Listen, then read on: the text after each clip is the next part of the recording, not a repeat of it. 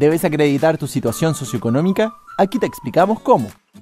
Si existen diferencias entre lo informado en tu postulación y las bases de datos del Estado, será necesario acreditar tu situación socioeconómica con la documentación correspondiente. Este proceso lo debes realizar solo si eres notificado al momento de revisar tu información de nivel socioeconómico. Revisa si este es tu caso en www.beneficiosestudiantiles.cl.